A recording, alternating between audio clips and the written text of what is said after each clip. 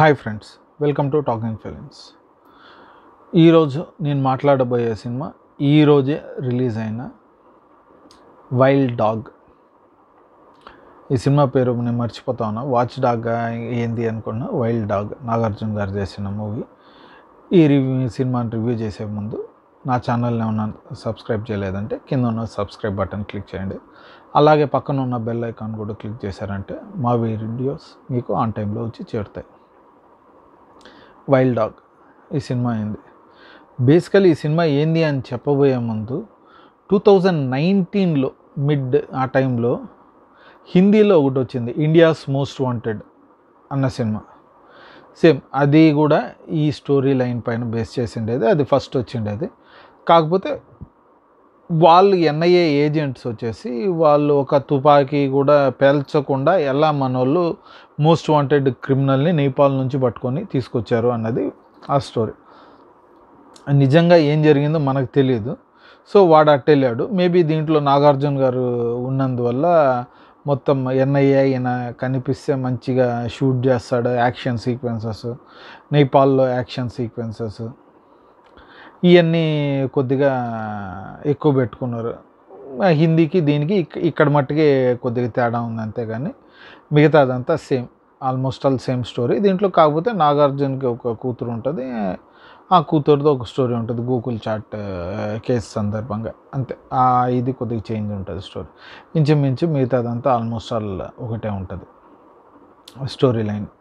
So Indian India's most wanted cinema చూసిన వాళ్ళకి ఇది నచ్చుతుందా లేదా అనేది మనం చెప్పలేము. అది చూడలేదు అంటే ఈ సినిమాలో మనకి నచ్చే అంశాలు ఏంద్రా అంటే పాజిటివ్ నాగార్జున గారు. నిజంగా అతను ఈ మధ్య చూస్ చేసుకున్న సబ్జెక్ట్స్ అన్ని కొద్దిగా డిఫరెంట్గా ఉన్నాయి. మనం కొద్దిగా వైడ్ రేంజ్ ఆఫ్ మూవీస్ అతను ఇస్తా ఉన్నాడు చూసేదానికి. ఇది ఆ ఒక పర్టికులర్ దీంట్లో చేరుతుంది. చాలా బాగా అనిపిస్తుంది మనకి. సెకండ్ది ఇట్లాంటి స్టోరీని నీట్గా ఎగ్జిక్యూట్ చేసిన మన డైరెక్టర్. మన డైరెక్టరు సాల్మన్. అతను బాగా ఉంటుంది డైరెక్షన్ స్కిల్స్ మనకి తెలుస్తుంటాయి కొంత బాగా చేశాడు అనేసి. మళ్ళీ ఇంకేమున్నాయి? మిగతా ఎంత చిన్న చిన్న పాటలు దియా మిర్జా చేసింది నాగార్జున గారి వైఫ్గా చాలా చిన్న రోల్. ఓకే పర్లేదు. మిగి మిగతాదంతా ఓకే. తమన్ మ్యూజిక్ బాగానే ఉంది. మంచిది ఏంద్రా అంటే ఇక్కడ మళ్ళీ వేరే పాటలు పెట్టి డిస్ట్రాక్ట్ చేసి సాగు దబ్బకుండా అట్లాంటి ఏం లేకుండా ఒక ఫిలింగా పెట్టున్నారు కాబట్టి అది మనం ఇట్లాంటి సినిమాని సినిమా మంచి దీనిగా చూడవచ్చు ఎందుకంటే కొన్ని సీన్స్ కొద్దిగా మంచి థ్రిల్గా తీసుకెళ్ళి ఉంటాడు. నెగిటివ్ పాయింట్స్ ఏంటంటే నాకు బేసికలీ నేపాల్లో మావోయిస్టులతో ఉన్న ఒక యాక్షన్ బ్లాక్ ఏదైతే ఉందో నాకు కొద్దిగా అంత నచ్చలేదు. బేసికలీ నేను కొద్దిగా ఇంకొద్దిగా బాగా ఎక్స్పెక్ట్ చేశాను. నీట్గా ఉంటుందని అదేందో ఇంక మళ్ళీ రెగ్యులర్ ఫిలింకి ఉన్నట్టే అనిపించింది నాకు. సో నేను అక్కడ కొద్దిగా డిసప్పాయింట్ అయ్యాను.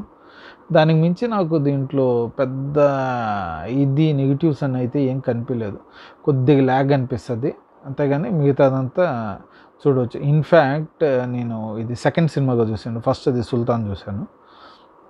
సిక్స్టీ పర్సెంట్ ఉంటే దాదాపు eighty to ninety percent occupancy ఉంది. అండ్ దాంట్లో ఎక్కువ లేడీస్ ఉన్నారు. ఫ్యామిలీస్తో వచ్చున్నారు ఎక్కువ లేడీస్ ఉన్నారు. సో నాగార్జున గారికి ఇప్పటికీ ఫీమేల్ ఫ్యాన్స్ ఏ రేంజ్లో ఉన్నారు అనేది మనం దీంట్లో చూడవచ్చు ఈ మూవీ వెళ్ళి చూడాలి. ఇందాక చెప్పినట్టుగా మనము ఈ టైంలో అది మీ ఇంట్రెస్ట్. ఎందుకంటే అందరూ థియేటర్కి వచ్చి చూడండి అని చెప్పలేము. వాళ్ళు మీరు వచ్చి సేఫ్గా వచ్చి పిల్లల్ని తీసుకొని వచ్చే పని అయితే మాస్క్లు వేసుకొని వచ్చి చూసే పని అయితే నీట్లీ వాచబుల్ ఫిలిం ఇది. నీట్గా బాగుంటుంది. కొద్దిగా మనకి యాక్షన్ ఎపిసోడ్స్ అవన్నీ ఉన్నాయి కాబట్టి కొద్దిగా మనకి న- నచ్చే ఇది. నీట్గా వాచ్ చేయొచ్చు. నా రివ్యూ మీకు నచ్చినట్టయితే లైక్ చేయండి. ఇంకా నచ్చినట్టయితే మీ ఫ్రెండ్స్తో షేర్ చేసుకోండి. Thank you.